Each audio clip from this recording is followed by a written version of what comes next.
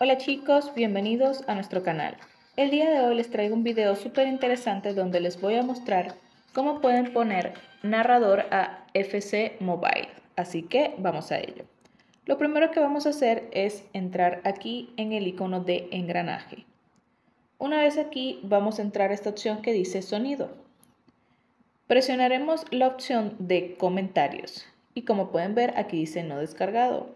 Entonces lo que vamos a hacer es buscar el idioma en el que queremos descargar y lo vamos a descargar. Fíjense que aquí dice español y vamos a descargarlo aquí.